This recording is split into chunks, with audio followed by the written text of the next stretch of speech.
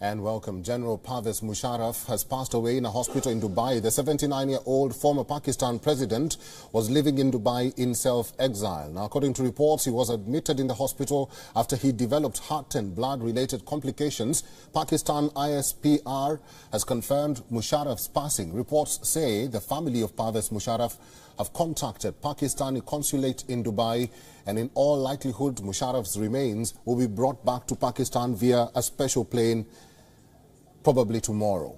Now, according to his family, the 79-year-old former president and chief of army staff was suffering from a rare disease. General Musharraf had left for Dubai in March 2016 for medical treatment and always wanted to return back to Pakistan but never did. He was declared a fugitive in the assassination of former Prime Minister Benazir Bhutto. And condolences have been pouring in from Pakistan. Pakistan Prime Minister Shehbaz Sharif took to Twitter to offer his condolences to the family of General Pervez Musharraf. Former Minister of Information and Broadcasting of Pakistan, Fawad Chaudhry, also expressed his heartfelt condolences.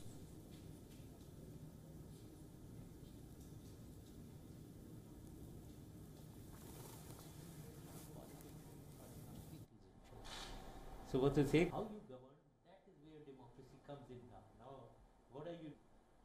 Sectarian victimization of Sunnis in Iran of the end. Parvez Musharraf साहब के इंतकाल की खबर सुबह मिली है। मेरी उनसे बहुत तवील रफाकत थी। हमेशा मुझे उन्हें अपने ख़ानदान का फ़र्ज़ समझा और अब तक मेरा उनसे बहुत ही एहतराम का ताल्लुक रहा। परवेज मुशर्रफ पाकिस्तान में कहने के तो फौजी डिक्टेटर थे, लेकिन उनसे ज़्यादा बड़ी जमहूरियत पाकिस्तान में कभी नहीं रही। उन्होंने पाकिस्तान में आज़ाद मीडिया दिया, उन्होंने पाकिस्तान के अंदर डाइवर्सिटी ऑफ़ ओपिनियन को प्रमोट किया। उनके बाद आज का दौर जब हम उनसे कंपेयर करते हैं तो पता चलता है कि आज की जमहूरियत किस कदर बदतरीन फस्तायत है। और परवेज मुशर्रफ ने पाकिस्तान को कितना प्लूरिस्टिक पाकिस्तान बनाया था।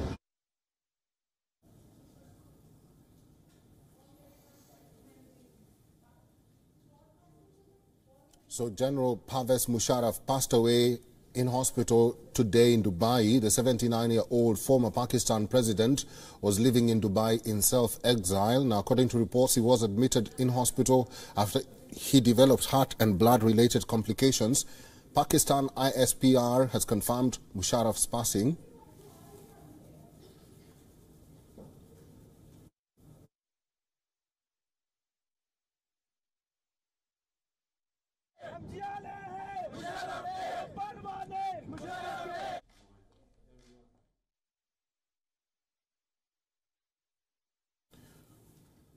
Reports say the family of Pervez Musharraf have been have contacted Pakistani consulate in Dubai and in all likelihood Musharraf's remains will be brought back to Pakistan via a special plane and that is expected to happen tomorrow. Now according to his family the 79-year-old former president and chief of army staff was suffering from a rare disease General Musharraf had left for Dubai in March 2016 for medical treatment and always wanted to return back to Pakistan but never did. He was declared a fugitive in the assassination of former Prime Minister Benazir Bhutto. इस तरह बाकायदा तौर पर chief of army staff का ओहदा general Ishfaq Parvez Kiani ने संभाल लिया Anas Malik is our Pakistan bureau chief. He's now joining us live for more updates on this developing story. Anas Malik, what's the latest at this hour? Are there more condolences? Are there more reactions following the demise of Pervez Musharraf?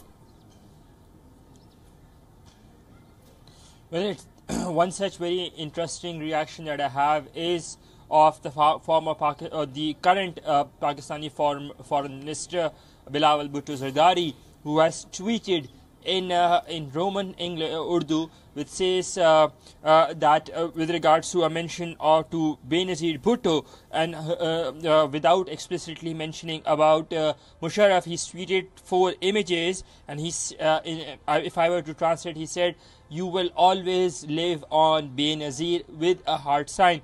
Now, why tweet this today, or is because the tumultuous relation or tumultuous relation that uh, Benazir Bhutto had with uh, the former President General Pervez Musharraf. In fact, uh, she had nominated him as one of the key people in case if she is assassinated or killed. Uh, General Pervez Musharraf was suffering from a medical complication called amyloidosis, uh, uh, which is to do, which is essentially uh, uh that of multiple organ failure. He was on an experimental drug that was stalling uh, the process, the complication, but was not preventing it and that is the reason he was under treatment in Dubai. He's passed away to today uh, earlier in the morning between 8:45 a.m. and 9 a.m. Dubai time at the American hospital in Dubai. Uh, we're seeing that the family has contacted the Pakistani consulate in Dubai uh, and expressed their desire that uh, they would want the remains to be repatriated back to uh, Pakistan. And in these regards, the Pakistani state has offered a, special flight, a special plane that will take off tomorrow morning from the Noor Khan Air Base here in Rawalpindi, very near to uh, where I am, and it will be heading to the Al Maktoum airport in Dubai, which the plane will then be bringing back the remains. Now, it is very interesting that it is still undecided, undecided that whether the remains will be flown here in Islamabad or to Karachi. Uh, remember, Musharraf's, General Dad Pervez Musharraf's, both of his parents uh, have been laid to rest in the city of Karachi, where he was, where he had migrated after uh, uh, after the partition.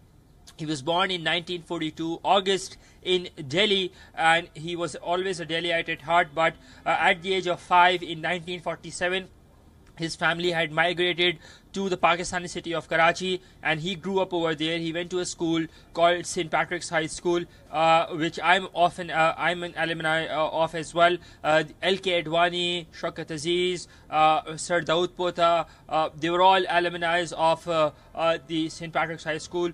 he took his early education from there and then he went on to uh, uh, join the Pakistani military, where he took part in the 1965 and 1971 wars uh, as well. In, he was in SSG Commando.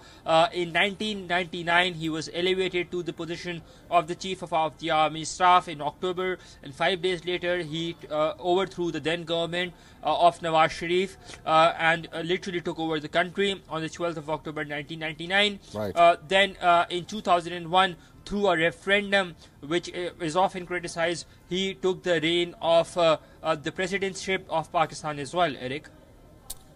Our Pakistan Bureau Chief Anas Malik live there in Islamabad giving us details uh, of this developing story where 79-year-old former Army General and President of Pakistan Pervez Musharraf was reported dead in Dubai and joining us now to talk more about this, thank you very much, Anas Malik.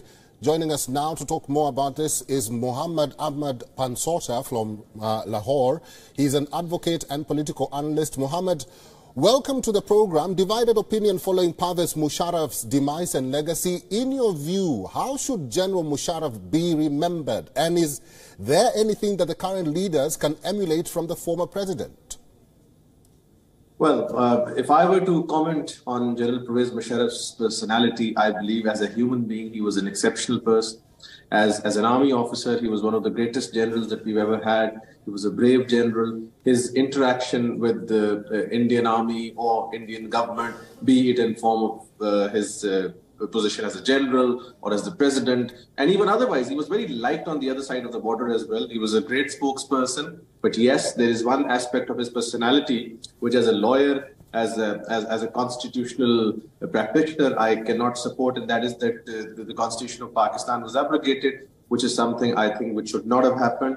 But apart from that, as a human being, as, as, a, as, as a general, as a soldier, he was a great army officer. And, and I think it's a big loss for Pakistan. But at the same time, we also need to realize that uh, from here onwards, that constitutional abrogation must come to an end because one way or the other, historically, people who've done that will not be remembered as uh, in good words, which is precisely why there is a split opinion about his personality. Mm-hmm. And had it not been for the abrogation of the constitution, I believe he would have survived uh, even even after his death. His his uh, reputation would have survived as one of the greatest soldiers of this country. All right. Do you think his uh, legacy will remain as positive or will it be forgotten? Uh, well, I think his legacy will be very, very controversial for times to come because there's a sizable portion of Pakistani politicians who, who do not approve of his uh, style of uh, governance or what essentially he did to the constitution of Pakistan, Bilawal Bhutto Zardari being one, because his mother, late mother, had nominated General Pervez Musharraf in the, as one of his perpetrators in case she is assassinated. Even apart from that, one of the leading political parties, Pakistan Muslim League Noon, which is in power at the moment along in an alliance, will also not remember him in good words. As far as Imran Khan is concerned, of course, he was uh, with him when he came into power in, in, in the in, for the first time when he got elected. But at this stage, it would be difficult for him to support the political side of General Pervez Musharraf, which I believe should not have existed in the first place. His, his role was that of an army officer, which I believe he uh, performed exceptionally well till the time he had chosen to take over the constitution and Pakistan, which I believe should not have happened. So, yes, as far as your question is concerned, historically, he will be remembered as a controversial person. And maybe, maybe down the lane, he will be forgotten because history doesn't remember people who are involved in such acts as far as the constitution is concerned. But apart from that, like I said, he was an exceptional human being and a great, great general. There are critics and experts who write and also say that uh, a military man who failed to grasp dynamics of politics and diplomacy. Do you agree with them? Um, probably you can take us back to his rule. Did he, uh, you know, show that he was a military man, but he did not really understand the politics and the diplomacy in Pakistan. Well, well, Pakistan is a country which has unfortunately been hit by military coups in the past, and which is once again, like I said, is not something to cherish. However, if I were to, if I were to say that out of those military coups, was there any military coup which had any positive effects in Pakistan? I think it would have been General Pervez Musharraf. So I do not agree with these critics because if there is one man who understood politics in and out while being a military general, it was General Pervez Musharraf. And also some of the steps which were taken by him during his tenure, such as the implementation of local government ordinance, which the political governments have been unable to do till date. And that is one of the constitutional features of Pakistan, which they are under a legal obligation to implement. Apart from that, as far as media is concerned, private media was for the first time given the autonomy to say whatever they want, to sort of uh, air whatever they want. So this is the second, I, I think, whether it is cap. And even apart from that, uh, except the part where the constitution was abrogated, he was eventually able to bring the political system back. But yes, he understood the politics of this country in and out. But once again, like I said, it, his his uh, takeover was unnatural and which could not have been approved by anybody. Hence, uh, like all other military generals, he had to go out Muhammad Ahmad Pansota is an advocate and political analyst. Muhammad, stay with me. Let me go back to our Pakistan Bureau Chief, Anas Malik. Uh, I've talked to several people, Anas Malik, and they say that uh, Musharraf should be remembered for his um, for strengthening the media in Pakistan and also for, you know, defending women's rights. Do you agree with some of these sentiments being told by analysts and experts? The first question, the first part of your question, I agree with because under him is when Pakistan saw this boom of the private media industry the uh, the commencement or the establishment of uh, the Pakistan Electronic Media Regulatory Authority, which is called PEMRA uh, today, and that basically gives the licenses to private TV channels. Uh, under him is when the first TV private TV channel Geo News, and then subsequently ARY was launched in the country. Before that, Pakistan had only one media representation, and that was the state media, either the PTV or the STN, as we as as far as uh, as I remember. So, with regards to the media freedom, yes, he can be credited with. But to the second part of your question, not so much. Uh, unfortunately, Pervez Musharraf's legacy has that been of a very misogynistic person. Person uh, has that been of a very repressive person when it comes to women's rights. He was the one uh, who had introduced the famous Hudud ordinance. Uh, and then it was so repressive that even people within the right right right wing parties they were against it. This was back in 2002, 2003. Uh, our honorable guest can correct me. Then uh, the, those very controversial comments on the Mukhtaran when the Mukhtaran Mai rape case was ongoing that rape survivors uh, alleged ra- of rape because they would want to they would want visas for abroad and would want to settle abroad well Mukhtaran Mai continues to remain in Pakistan Musharraf unfortunately was not in Pakistan so there is it's a mixed bag it's a mixed plate or with regards to his contributions or his legacy, um, as uh, uh, the honorable guest was pointing out, uh, he's had his uh, the uh, Pervez Musharraf has had his share of problems, uh, be that be the imposition of the what we believe is a martial law on the October 12, 1999, or or the takeover, and then the again the imposition of the emergency on the 3rd of November 2007, twice the constitution being abrogated, the assassination of Benazir Bhutto, the bomb blast, um, the assassination of Akbar Bugti in 2005, the 2005 earthquakes, uh, in which uh, uh, uh, that was encountered by Mush- General retired Pervez Musharraf as a challenge on his part. Um, the LFO, the 2001 referendum, uh, the 2007 subsequent handover of power to uh, uh, General Ashfaq Parvez Kayani stepping down as the chief of the army staff, multiple accounts on which he believed, in his own words, that the that constitution is a piece of paper to be thrown in the dustbin, and he had done so by by depicting that and or by implementing that that during his time in power. Uh, but on the on the bright side, he's done he had done some really good things. For instance, with regards to exports, uh, the, the, stability in Pakistani economy. You mentioned about the media freedom bit as well. Then uh, then uh, the the other thing is uh, is with regards to the continuation of policy. Uh, uh, unfortunately, Pakistan saw uh, a rise in terrorism during General Pervez Musharraf's era.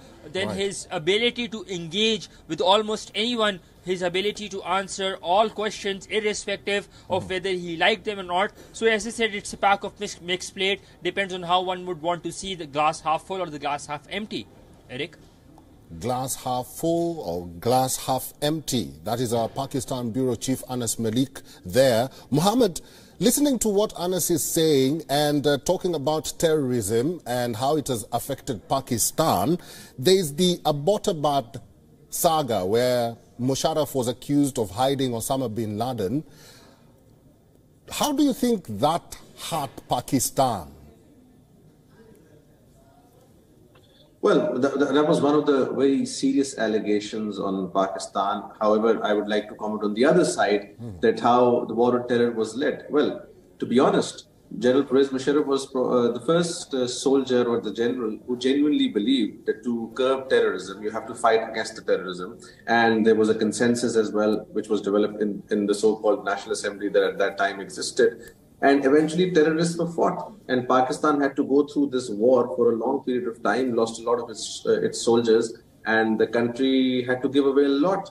So yes, as far as his war on terror is concerned, he, he has been exceptionally dot on point. His view was clear. Also, he believed in enlightened moderation, which is where uh, your previous question comes in as well, as far as rights of women are concerned. Uh, I agree with the, uh, what the other gentleman was saying that these there are one or two laws which were passed in his time. But at the same time, for the first time, this particular law was passed where a female had the right to get herself bailed out merely on the basis of being a female. This is a criminal amendment which was made at his time. Then he was very, very promoting as far as female parliamentarians were concerned. He would always speak about women's rights.